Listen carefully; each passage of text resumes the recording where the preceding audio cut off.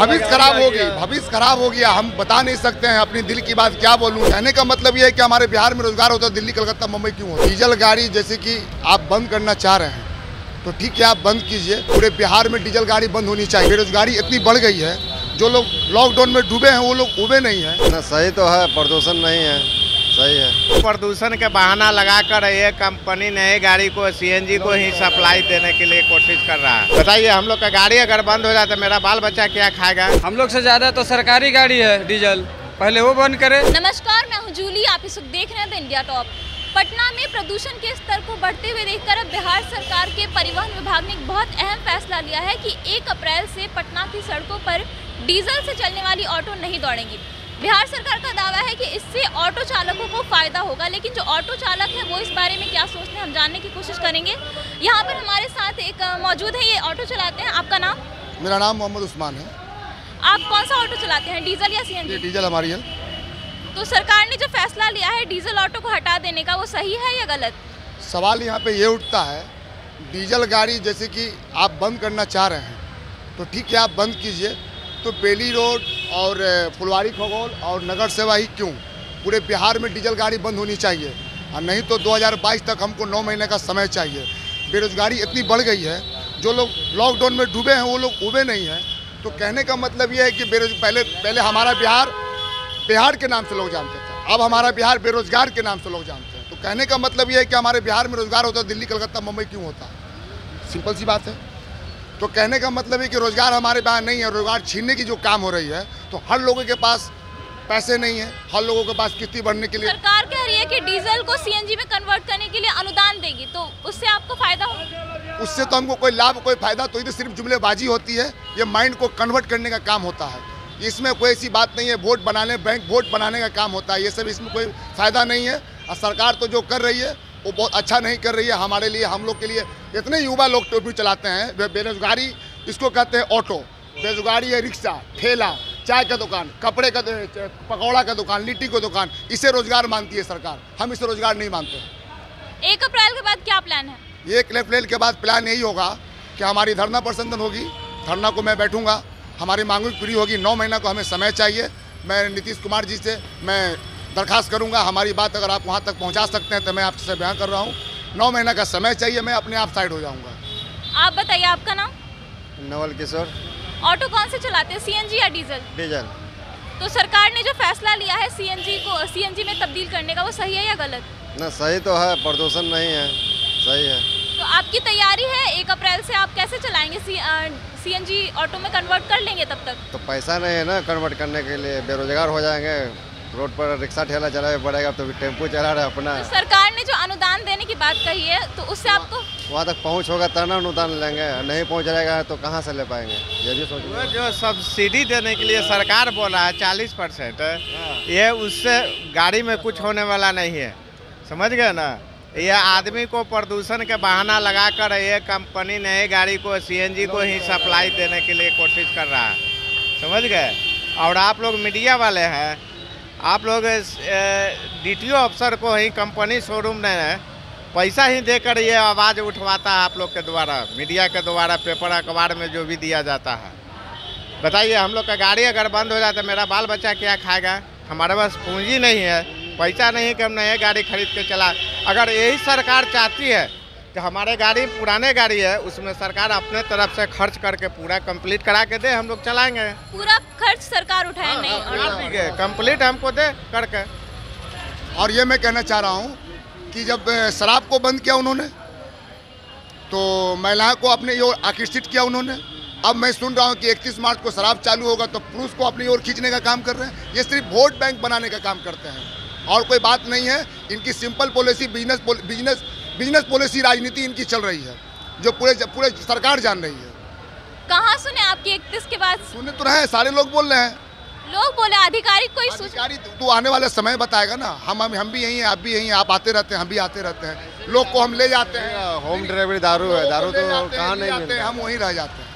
मेरा तो काम ही है लोगों को पहुंचाना और ले आना हम वहीं रह जाते साफ़ गलत है। क्यों? क्योंकि हम लोग ऑटोमेटिक बंद कर देंगे। एक तारीख के बाद आप लोग ऑटो नहीं चलाएँगे? क्यों नहीं चलाएँगे? हम लोग से ज़्यादा तो सरकारी गाड़ी है डीजल।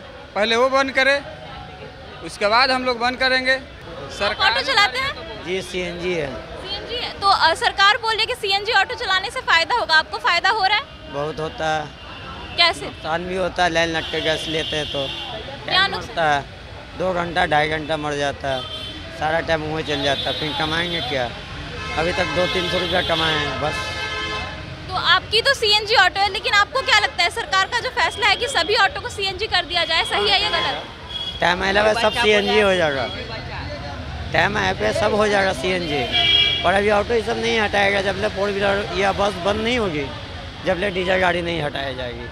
इसलिए सबको हक है कमाने का और सबको हक है चलने का। कोई हटा नहीं सकता है ना? हमारा तो सीएनजी है सही है। हम बदल लिए अपना डीजल तो सीएनजी कर लिए बस। आपका नाम? सलाउद्दीन। सीएनजी ऑटो चलाते हैं आप? जी सर तो सीएनजी ऑटो से आपको फ़ायदा हुआ कि नहीं अभी तक? खराब आता नहीं है। दो घंटा नंबर में आता है, गाड़ी लगा रहता है, डीजल गाड़ी हटाइए, न परमिट मिला है, ना कुछ मिला, नया गाड़ी मिल गया, परमिट नहीं मिला। अब कल लोग सरकार कहेगी कि परमिट लाओ तो परमिट के लिए भी गलती हम, हमें कुछ समझा जाएगा ले रहे हैं वहाँ पर टैक्स पहले है वो, अब परमिट के लिए चालू नहीं कर रहे बताइए। परमिट नहीं मिलेगा तो फिर तो डीजल गाड़ी वाला हाल उसका भी उसका उनकी सरकार उनकी सत्ता जो चीज़ जो फैसला लिया है डीजल गाड़ी को हटा देने का। डीजल गाड़ी हटाइए अब और सीएनजी लाइए भाई उसका परमिट नहीं मिलेगा तो फिर तो वही रोना रहेगा ना टेंपो वाला का। समस्या वही समस्या वही वही समस्या बदलने वाली नहीं है। समस्या वही रहेगा समस्या बदलने वाली नहीं है। हम लोग की युवा है। हम लोग की बाल बच्चे की डीजल गाड़ी हटा परमिट भविष्य खराब हो गई भविष्य खराब हो गया हम बता नहीं सकते हैं अपनी दिल की बात क्या बोलूँ सरकार पूरा कर नहीं सकती है सरकार सिर्फ़ जुमलेबाजी करती है और आश्वासन देते हैं दिमाग को माइंड को कन्वर्ट करने का काम करते हैं वोट राजनीति बनाने का काम करते हैं सरकार हमारी परमिट है नहीं? है परमिट है नहीं? है तो होगा। जिस दिन चेक इन लगेगा उस दिन तो परमिट के लिए गाड़ी आधा बंद हो जाएगी। तो कहेंगे सरकार की गाड़ी वाला भाग गया बिना कागज़ बिना। तो कागज़ तो आप खुद रोके हुए हैं। और दूसरे को करें कि रुक रुके हुआ है। रुकने नहीं है। हम लोग को नया गाड़ी मिला है। रसीद जो कट रही है पैसा ले ले रहे हैं परमिट तो मिल नहीं रहा। है हम लोग अगर अगर सीएनजी गाड़ी ले भी रहे हैं तो उसमें परमिट मिलेगा नहीं आपकी तो आपकी सीएनजी ऑटो नहीं अभी डीजल गाड़ी है पर हम लेंगे कैसे लेंगे? जब परमिटे नहीं दे रहे हैं तो क्यों ले? तो एक तारीख के बाद अगर बंद कर देती है सरकार डीजल ऑटो को तो आप क्या करने वाले हैं? अभी बेरोजगार हो जाएँगे हम लोग। डीजल ऑटो चलाते हैं। एक अप्रैल के बाद बंद हो जाएँगी पटना की सड़कों पर नहीं चलेंगी तो क्या करेंगे आप? फोचका बेचेंगे? खोजका बेचेंगे? आप सीएनजी ऑटो में कन्वर्ट करने का सोच रहे हैं कि नहीं अपने ऑटो को? ये वाला नहीं होगा गाड़ी। हाँ? ये गाड़ी नहीं होगा सीएनजी में कन्वर्ट क्यों? नहीं होगा। उतना पैसे नहीं है करावेला। तो सरकार जो बोल रही है कि सब्सिडी देगी अनुदान देगी उसका क्या? कहाँ कुछ दे रही है सरकार? नहीं दे रहे कुछ। डीजल ऑटो चलाती है सीएनजी डीजल ऑटो तो एक तारीख से तो बंद कर देगी सरकार सब तो क्या करने वाले हैं आप? वो तो बाद में अब सोचना पड़ेगा अभी तो कोई उपाय है नहीं। गरीब आदमी कहाँ जाएगा मैडम जी बताइए। ऑटो चलता है तो गरीब आदमी का पेट पलता है। अगर ये बंद हो जाएगा तो आदमी क्या करेगा? सरकार कुछ तो उपाय लगाएगा ना। सीएनजी भी आ रहा है तो उसमें तो अभी परमिट मिल नहीं रहा रोड का। तो लेकर भी बेकार है। सीएनजी ऑटो में तब्दील करने का सोचा है कि नहीं आपने कि अपने ऑटो को सीएनजी में बदल लेंगे सीएनजी में बदल दे तो इसका कागज़ है नहीं। लॉकडाउन में इसका कागज़ फेल हो गया। अब इसके कागज़ बनाने में कम से कम चालीस पचास हज़ार रुपया इसको फाइन भरना पड़ेगा तब जाके इसका कागज़ बढ़ेगा इसके लिए तो कुछ उपाय है नहीं। सरकार के फैसले से आप खुश नहीं हैं? खुश नहीं नहीं है। मैडम जी बहुत दुखी में है। इस तरीके के चार गो बाल बच्चा है कैसे पलाएगा बंद हो जाएगा डीजल गाड़ी। उसके लिए कुछ सरकार उपाय लगाएगा ना? बोलिए। आप भी लोग गुजारिश कीजिए सरकार को कि देखिए कुछ करें डीजल गाड़ी बंद तो। चलने के लिए कुछ तरह अगर इसमें भी सीएनजी लगता है तो हम लोग पैसा लगा के लगाने के लिए तैयार हैं। तो सरकार जो बोल रही है पैसा देगी। आपको लगता है कि पैसा मिलेगा सरकार की तरफ़ से? नहीं ऐसा तो कोई ठीक नहीं है सरकार कभी पैसा दे नहीं सकता। और ले लेगा हम लोग से दे नहीं सकता।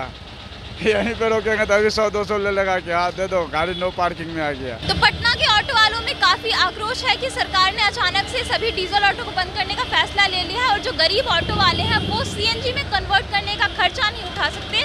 तो उनकी मांग है कि सरकार इसका खर्चा उठाए। आपकी क्या राय है? आप अपनी राय हमें कमेंट के ज़रिए दे सकते हैं। इसी तरीके की तमाम अपडेट्स के लिए आप बने रहिए द इंडिया टॉप के साथ। धन्यवाद।